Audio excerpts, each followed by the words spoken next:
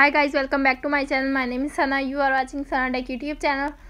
In this video i am going to teach you how to fix screen flickering issue on iphone without wasting any time. Let's start this video. Solution number one restart your iphone. Press the volume up button press the volume down button and press the power button. When you see apple logo appears on screen and release the power button and wait 5 10 seconds and restarting your iphone and problem is fixed if solution number 1 is not working, now applying this solution number 2. Solution number 2 is update iOS version. Tap on setting app. You can see appears on screen. Scroll up. Tap on general. Tap on software update. If update is pending, download and install the update and problem is fixed. If solution number 2 is not working, now applying this solution number 3. Solution number 3 is reset network setting tap on setting app. You can see appears on screen. Scroll up. Tap on general. Scroll up. Tap on transfer reset iphone. Tap on reset setting. Tap on reset network settings. Enter your iphone passcode. You can see appears on screen.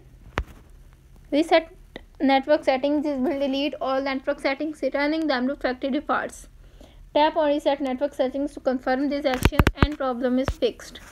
If solution number 3 is not working, now applying the solution number 4. Solution number 4 is disable auto brightness. Tap on setting app. You can see appears on screen. Scroll up. Tap on display and brightness.